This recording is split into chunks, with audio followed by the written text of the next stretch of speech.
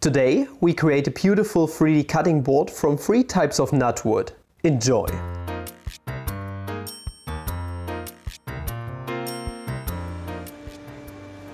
This project was mainly intended to test out the capabilities of my new sliding table saw. For the board we need a bunch of 30 degree angled pieces. Since I do not trust integrated angle measurements at all, I went for a variation of a so-called Fritz and Franz jig with a 30 degree slope. CNCing some plywood made quick work of accurately getting the angle done and now I just needed to install a piece of acrylic which was used to make it slide accurately and parallel to my saw blade.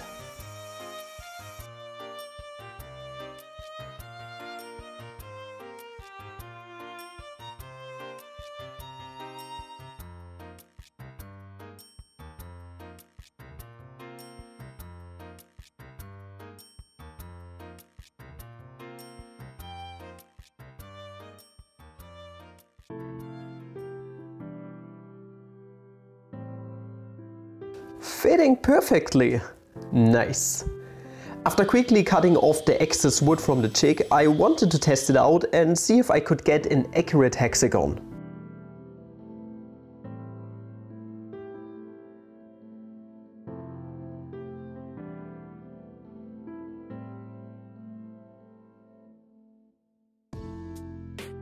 And as you can see, it worked out splendidly. Now for the main project. For my cutting board that I call Deez Nuts, I went with some satin walnut, also called amber wood, some European walnut turning planks, as well as some sweet chestnut.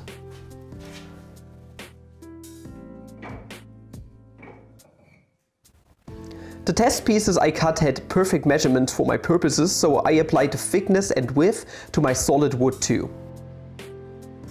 Then I went over to my trusty band saw by Laguna and proceeded to resaw and cut my blanks and blank to size.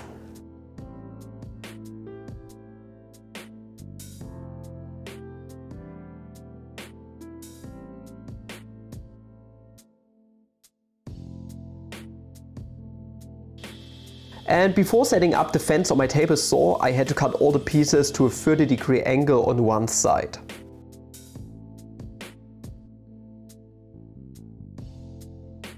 Once done, I adjusted my fence such that the distance between the saw blade resulted in all sides of the parallelogram shaped pieces to be equal.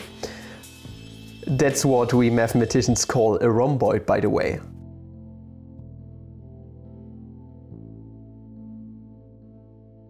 This process took quite a while and could definitely be done more efficiently by using my miter saw and a stop block, but as mentioned before I simply want to try out the capabilities of my new table saw this time around. So I took the time and went through all the cutting action on this power tool.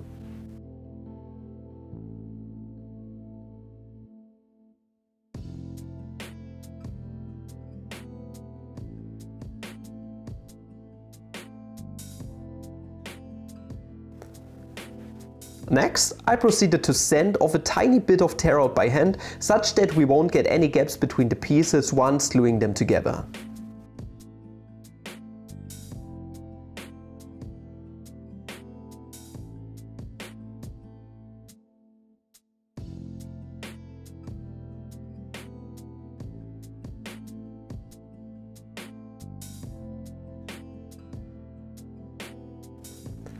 And then came the most time consuming, annoying and also hardest part.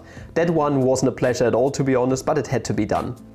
After pairing the tires, I tried my best to glue them together. I did not have CA glue back then at my shop, so I had to get creative and use painter's tape and a bunch of little clamps and bigger clamps to apply approximately even pressure to all hexagons.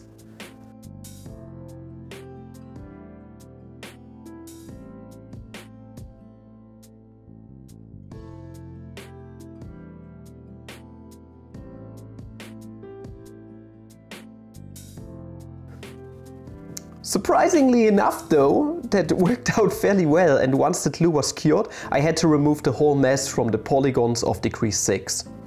That took ages yet again and wasn't a process that I particularly enjoyed to be honest.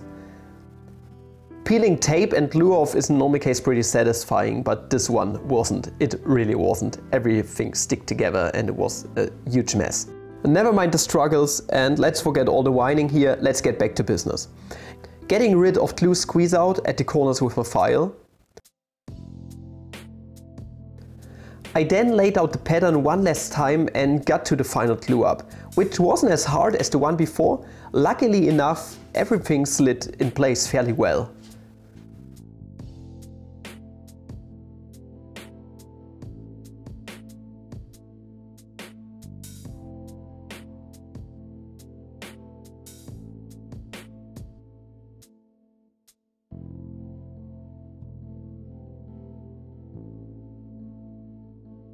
Next day rolled around and after removing all the clamps I roughly cut off the overhanging prisms from one side such that I could have a reference surface for my upcoming table saw cuts.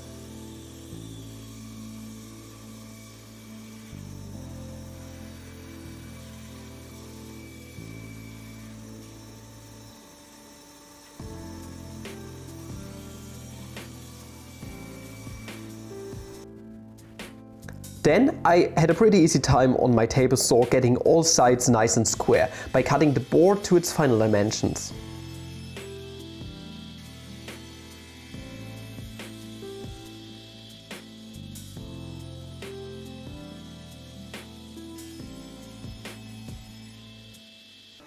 Next came flattening one surface with my trusty Shapeoko CNC. And after that I let the opposite side go through my planer. Both tools in combination really make a quick job of this procedure and I'm pretty glad about that.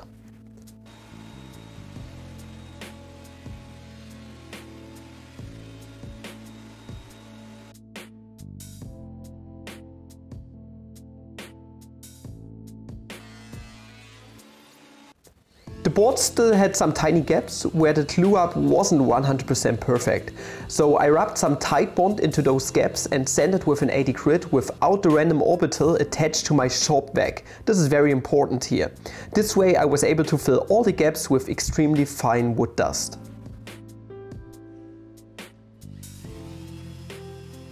And to finish all the rough work off, I went over to my router table and chamfered all the edges with a 45 degree chamfer bit.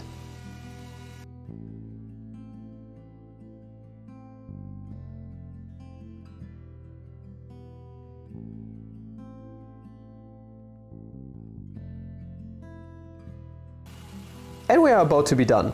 I finally sanded all the way from an 80 grit up to a 320 grit. Then I water popped the surface with a wet piece of cloth and sanded again from 180 grit to 320 grit until the surface was as smooth as Daddy's hairy legs. And here comes the moment we've all been waiting for. Let us butter that bitch and see how the grain is going to shine.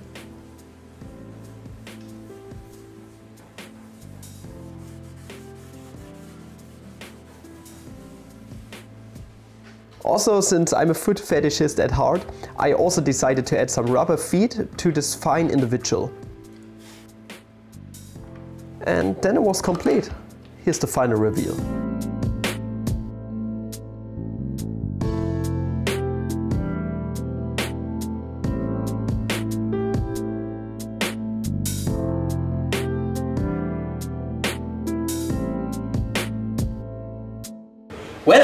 To say that this one turned out really well. I'm very satisfied with the result and you can see the 3D effect quite clearly um, if you take a look at the money shots at the very end. Yes, I'm very pleased with the result. I was kind of afraid that you wouldn't notice the 3D effect too much just because of the hardwood of the um, amber wood, but um, overall that turned out very nicely. If you're wondering what that finish was that I was using, it was a mix of mineral oil and also beeswax. It's one of my most favorite finishes next to shellac that I also mix for myself. So these are on par.